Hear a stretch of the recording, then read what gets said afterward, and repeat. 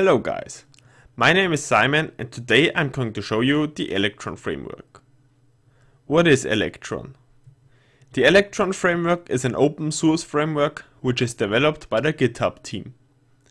It allows developers to build cross-platform desktop applications with web technologies such as HTML, CSS and JavaScript.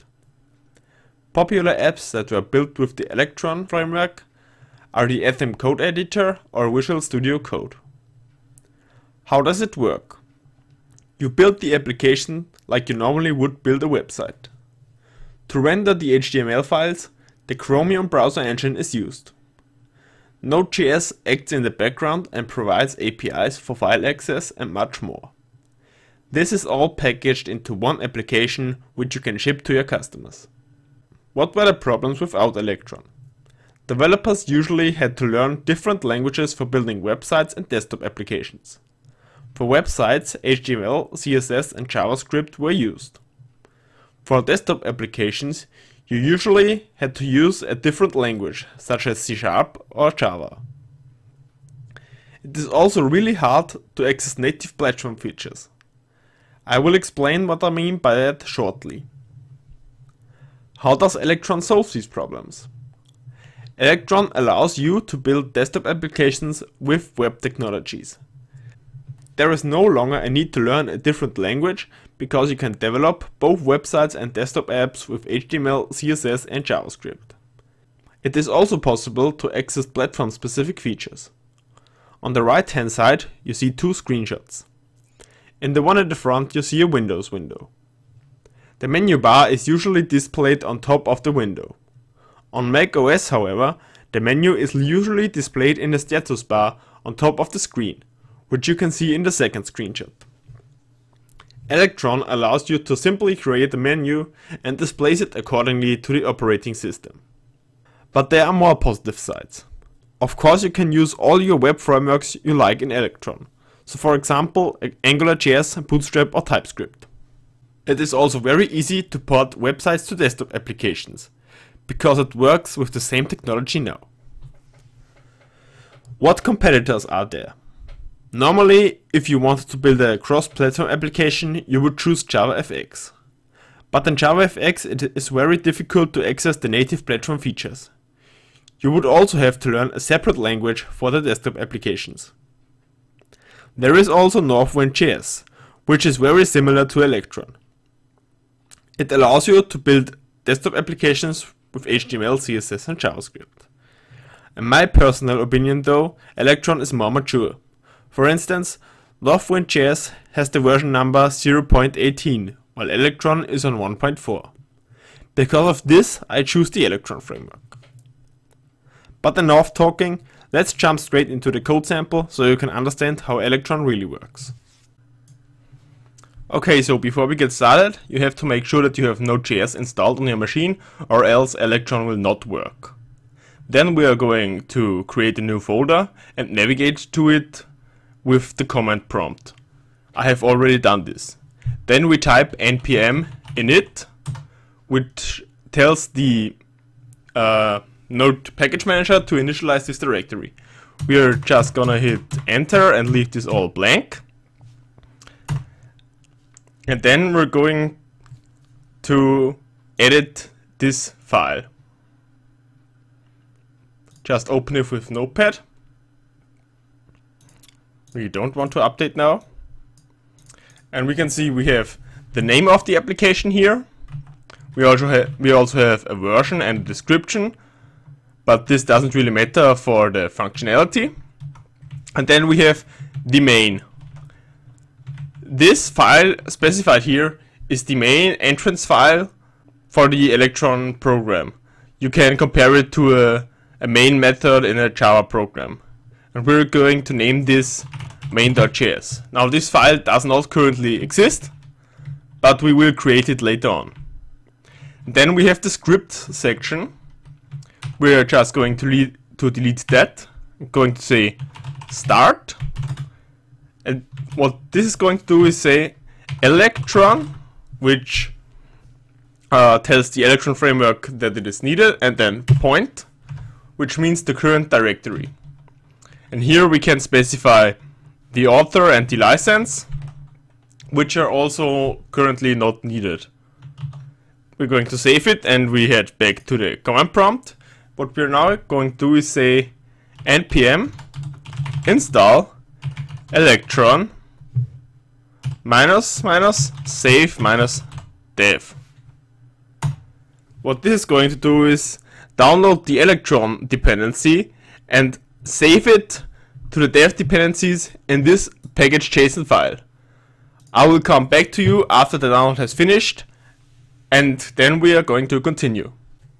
Okay, so the download and the installation has finished and what we now see when we go to the package JSON file is this new section. Here we see the dev dependencies, which is because we specified minus minus save minus dev uh, at the installation and we see the Electron framework and this means download this version or higher. Now when you package the application and you save it and you ship it, the dev dependencies do not get packaged with it because the user does not need this dependency in his finished program.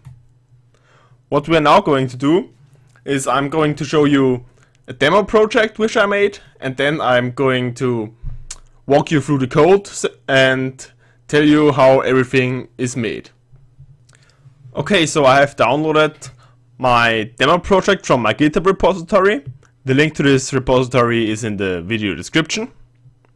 And if I try to start it, I would go to the command prompt and I would say npm start. Now this will not work because as you can see the computer does not know the electron command because every time you import the project, you have a look at the JSON file and you see you have the dev dependencies and you have dependencies, which I will come to later. And before you can start it, you have to download and install these dependencies. So you're going to say npm install and it is going to download every every dependency and install it. I will come to you back after the installation has finished. Okay, so we see the installation has finished and now we're going to try starting it again. As you see, now it works and it opens our application. What I have done is just add a simple person form, so we can say John Doe and edit. Then we see it, it appears in the list. We can also say Max Masterman and edit. And we can also delete them from the list. And now I'm going to to show you how this application was built and how it works. Okay, so I have opened the project and I have opened the main.js file, which we are going to have a look at. Now I'm only going to talk about the Electron specific features, not about JavaScript syntax or anything like that. I just assume you know basic JavaScript. So here we create a variable for the main window, which is really important because it keeps the garbage collector from destroying our application. So you should not forget this. Then we have a function create window. What this does is uh, assign the, the main window. We're going to say it's a new browser window with the dimensions. Then we're going to say main window dot load URL and load the index.html file, which we see here. Then we set up the menu. I'll come back to that in a few seconds. We give it the menu template and then we set the menu. And then we say when the window is closed, we set the reference to null. And down here we have function which says open the about window. So if we jump back to the application, we see up here we have a menu, application, about, and then there is this little about window which pops up. And what we do here is also create a new variable. and say it's a new browser window. Specify its dimensions. And what we also do here is we say it has a parent, which is the main window. And we say modal is true. So if we jump back, you say, you see, you can't move the parent window because this is opened like a dialog. Then we're going to say we load the URL, in this, in this case the about.html file. Then we set the menu to null because in this in this about window we don't need a menu. And then we say once it's ready to show, we're going to show it. Now let's jump up to the menu.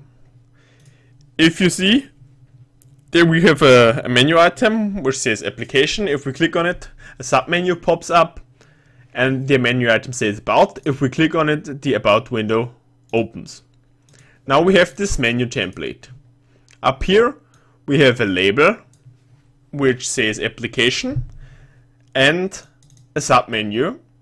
And in this submenu we have a label which says about and on click it opens the about window. This menu template is structured like a normal JavaScript or JSON object would be structured.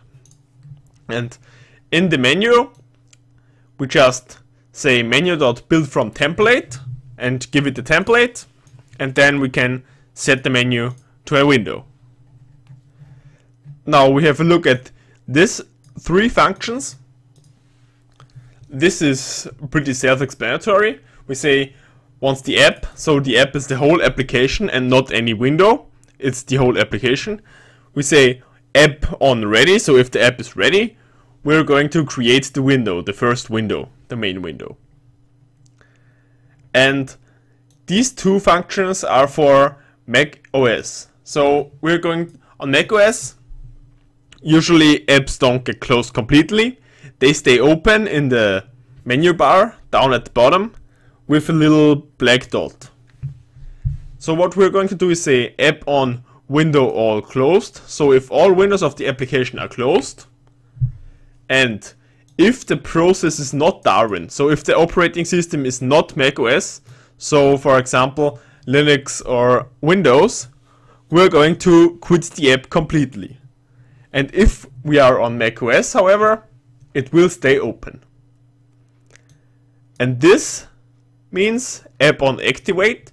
So if we click on the on the icon down in macOS, it's activated. Then this will trigger and it says if the main window is now, we're going to create a new window. This is pretty much all it takes to fire this up. Now we have a look at the HTML files. First the about HTML. We just have a simple about, uh, a simple HTML page. It is structured like a normal HTML page in the web would be structured. And we also have a look at the index HTML which is also the same. But this time we have a special script section down here. If we jump back in our application, we can see if I hit F12, the uh, web console and the web developer tools pop up. And if I hit F5, we can reload the whole application. This is a very neat feature for developing, but you should remove it when you package it and ship the application. Now to get this to work, we need this little script section.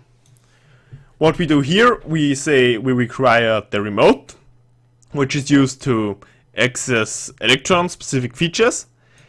And we're going to add an event listener on the key down event to the whole document. We're going to say if the user presses F12, which is keycode 123, we open the DevTools. And if the user presses F5, which is keycode 116, we're going to reload the window. And what this does is allow the reload capabilities which I just showed you. Okay, the last thing I'm going to show you is the database. So this, if we add a new person, John Doe, for example, this is persisted in a database. In this example, I'm using the NeDB database. It is very similar to MongoDB, but it is reliant purely and built with purely with JavaScript. So it integrates very well into Electron. It's very lightweight and very performance oriented. And it is required by, not required, but recommended by the Electron developers. We're going to jump into the database.js file to see how the database works. So on top, we load a new data store. So we say we require the NeDB module and save it to the data store and create a new DB in the file name personsdb, which we can see here. And we say autoload is true, so it should automatically be loaded on application startup. And then we say we have an add person function, which takes first name and the last name. It creates a new Java ob uh, JavaScript object and it inserts it into the database. And we also have a function which uh, queries all persons and executes a callback function with these persons. And we also have a function which deletes these persons. If you want to learn more about NeDB and how it works, I have a link to their GitHub repository in the video description. Okay, so now I have shown you how this application was built. And now I'm going to show you how you can package and ship the application. There, for this we're going to install the Electron packager, so we're going to say npm install electron minus packager space minus g which installs it globally so we can access it from the command line. I've already installed it so I'm not going to do it. And then we're going to say electron minus packager point so the current directory. Then then we say minus minus platform which on Windows it's Win32 and the archetype minus minus arc. In my in my case it's x64 because I have a 64-bit system. If you have a 32-bit system you're going to say x uh, 32 and I'm going to run it and it is now going to package my application. If you want to package the applications for all platforms, you're going to say electron minus packager point minus minus all. Now what this is doing, it is downloading every particular files it needs for every uh, platform and every archetype. And so this can take a while. And as I say, it, it just finished. If we jump in our into our folder, we see it created a new folder, Electron demo, minus Win32, minus X47, uh, 47, I mean 64. And if we jump in it, we see a lot of files which are needed by the Electron framework, so you have to include every file in here. And we also have a electron minus demo.exe. We're going to double click it and we see we have our our working application